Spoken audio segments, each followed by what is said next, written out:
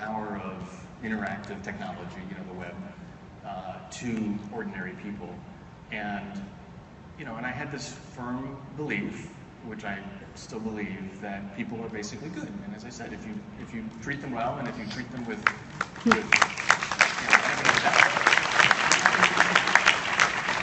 and in the modern world, despite, you know, we're bombarded with negative images all the time about how bad the world is, how dangerous the world is. And it is true, there are some dangerous things going on and there are some bad actors out there, but the vast majority of people out there are just good, decent, honest people.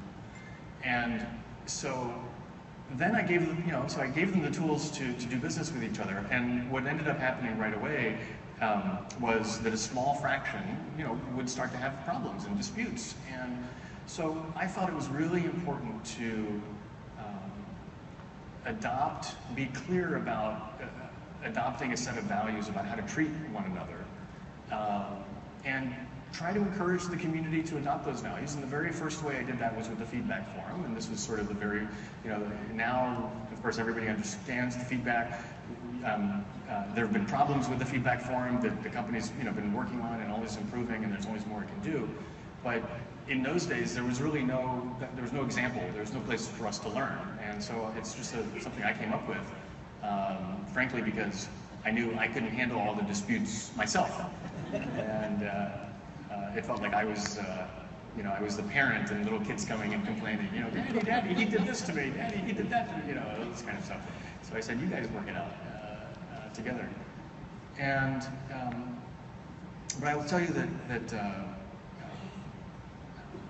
you know, we have now, after billions of transactions, we have experimental evidence that, in fact, people are basically good, that they don't cheat each other, you know, that it's a small, tiny fraction out there that, that do, but the vast majority, 99.997% or 99 whatever, 2%, of transactions go out without a, without a hitch. And that's experimental evidence. So if you're ever having one of those dark days about how bad it is out there, just remember, it's really, it's not. People are really basically good, decent people will always do the right thing when given the chance. And that's been so inspiring to me. And in fact, it is something that, that, that is, as I transitioned away from running the company day to day, which was a long time ago. I, I, transitioned away from that to our first CEO, to, uh, to Meg Whitman.